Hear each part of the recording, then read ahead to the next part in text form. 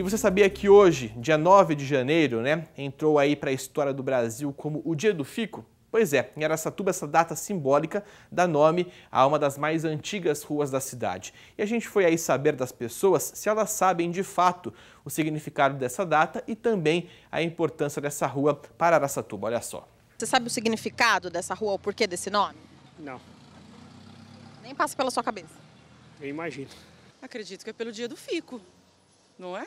Resposta exata. O Dia do Fico vem de uma frase histórica dita por Dom Pedro lá em 1822. Após a derrota de Napoleão, então príncipe regente do Brasil, contrariou ordens da corte portuguesa de voltar para Portugal. O motivo? O povo da colônia queria Dom Pedro por aqui. Em resposta aos pedidos, o príncipe desobedeceu às ordens da coroa e disse a famosa frase: Se é para o bem de todos e felicidade geral da nação, diga ao povo que fico. A data simbólica comemorada no dia 9 de janeiro também é festejada em Araçatuba, no Noroeste Paulista, uma das nove cidades do Brasil que tem uma Rua do Fico. Mas, independentemente da história do país, os comerciantes da Rua do Fico de Araçatuba também têm muita história para contar. Era bem diferente de hoje, né? Era assim, a gente viu o fluxo de movimento de veículo, né? era bem menor, né? O comércio na época era bem precário, né? Tínhamos poucos comércio aqui, bancos, não tinha nada disso, né? E com o passar do tempo foi evoluindo e hoje, graças a Deus, a gente tem, né? Um comércio já bem melhor do que na época, né?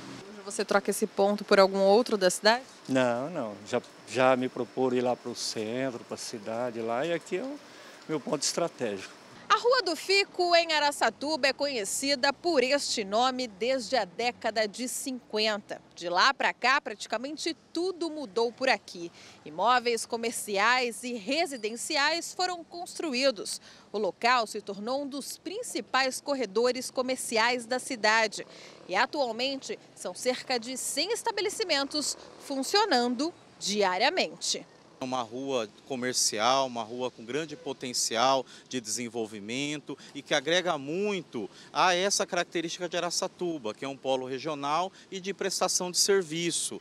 Ao longo dos anos, a rua passou a ser uma referência e também um ponto estratégico para os negócios.